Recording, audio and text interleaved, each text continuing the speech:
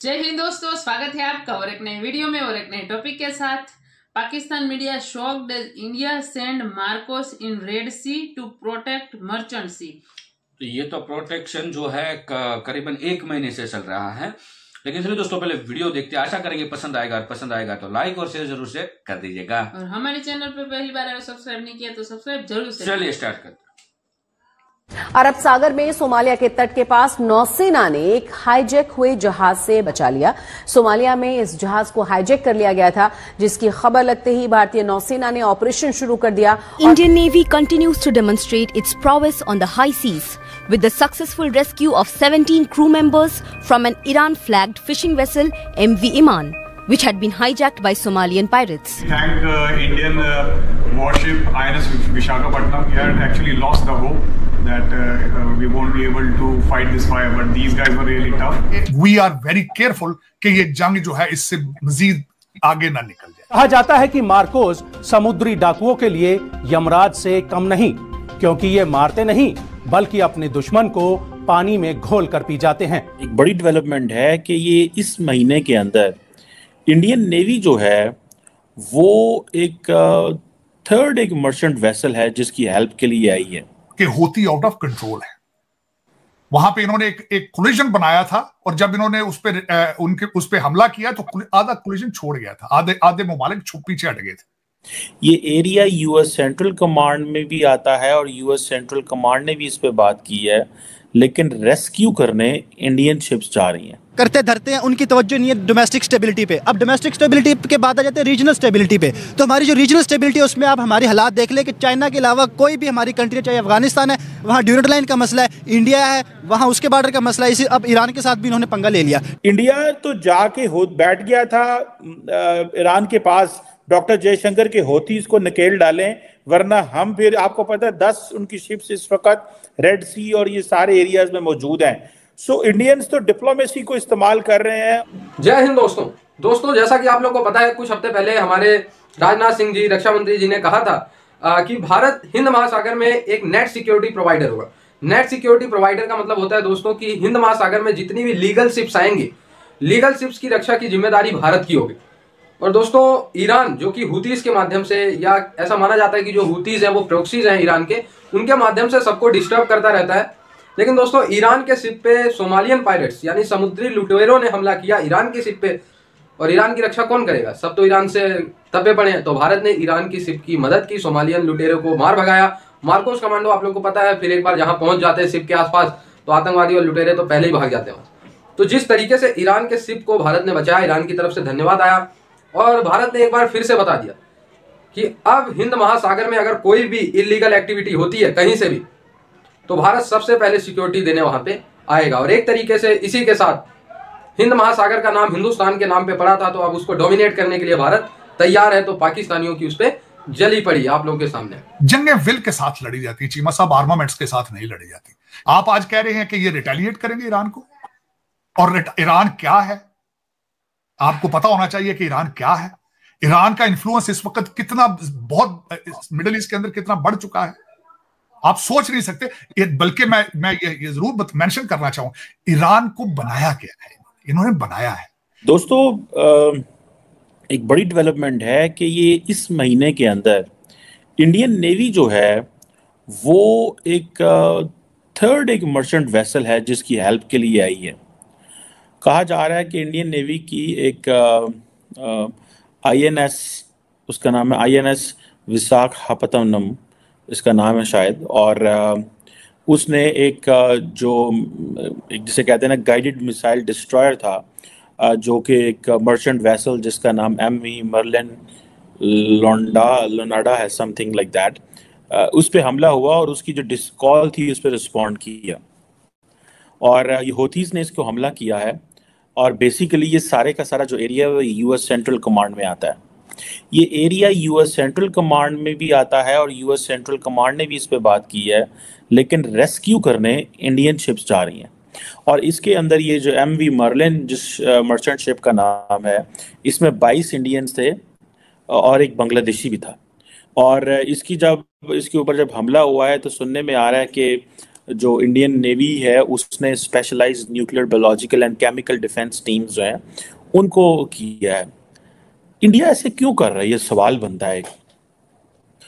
वैसे तो अगर आप इंडियन नेवल चीफ ने रिसेंटली एक इंटरव्यू दिया था तो वो, इंडिया तो ये समय कहता है कि जी हम बड़े कमिटेड हैं सेफ़ गार्ड करने के लिए, जो कम्युनिकेशन लेंस हैं सी लेंस हैं और क्योंकि पायरेसी भी बढ़ गई है ड्रोन अटैक्स भी बढ़ गए हैं और इंडिया ने तकरीबन 10 से ज़्यादा शिप्स जो हैं, वो डिफरेंट स्ट्रेटेजिक लोकेशंस में इंडियन ओशन में अरेबियन सी में गल्फ ऑफ़ इडन में अपनी डिप्लॉय की हुई हैं।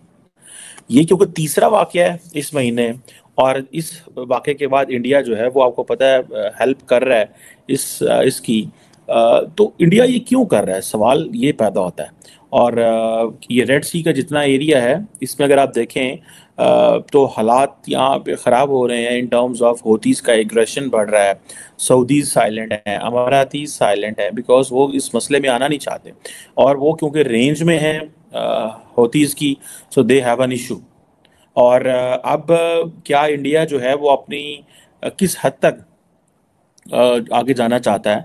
जो अपने इंडिया ने दस शिप्स डिप्लॉय की हैं उनके अंदर एंटी पायरेसी टास्किंग या एंटी ड्रोन सपोर्ट मौजूद है। सुनने में ही आ रहा है। क्या इंडिया जो है, वो लास्ट टाइम भी हमने इस पर बात की थी कि क्या इंडिया नेट सिक्योरिटी प्रोवाइडर बनना चाहता है? ये बन रहा है। ये एक सवाल है कि क्या इंडिया नेट सिक्योरिटी प्रोवाइडर बनना चाहता है? ये बनना चाह रहा है या है? ठीक है जी। अब इंडिया जो है, वो आपको पता है मेक इन इंडिया पे लगा हुआ है। और अगर इंडिया समझता है कि अगर आप मेक इन इंडिया नहीं करते तो आप इंडिया को डिफेंड नहीं कर पाएँगे। क्वेश्चन एक सिंपल सा है। क्या इंडिया नेट सिक्योरिटी प्रोवाइडर बनने जा रहा है या बनना चाहता है? ये है सवाल। जिस रीजन में इंडिया है, ठीक है जी, या जो इंडियन ओशन रीजन जो है ऑब्वियसली ये कोई होमोजेनियस एरिया नहीं है। यहाँ पे डिफरेंट हिस्ट्रीज हैं यहाँ की अपनी या डिफरेंट हिस्टोरिकल सिविलाइजेशनल लिंकेजेस हैं डिफरेंट माशरे हैं मजाहब अलहदा हैं कल्चर अलहदा है एथनीसिटीज़ अलहदा हैं। और एक खिता नहीं है आप देखें मिडल ईस्ट है साउथ एशिया है साउथ ईस्ट एशिया है फिर इंग्लिश एंटिटीज़ हैं अफ्रीकन एंटिटीज़ हैं ये बहुत बड़ा एरिया है। आप इसमें कैसे नेट सिक्योरिटी प्रोवाइडर बनना चाहता है इंडिया आ, ये क्वेश्चन है ठीक है जी? जिस दौर में कभी यूरोप और हम देखते हैं कि बाकी ममालिक इस खत्े में जो अपना एक असर वसूख रखना चाह रहे थे क्या वो इंडिया कर सकता है? कैसे करना चाहता है? कोई मर्चेंट वैसल कॉल करती है they call it a distress call तकलीफ़ में help help help Indian navy जाती है भाग के ठीक है और उसकी मदद करती है। वाई इन रिटर्न इंडिया को क्या मिलेगा? ठीक है ना जनाब?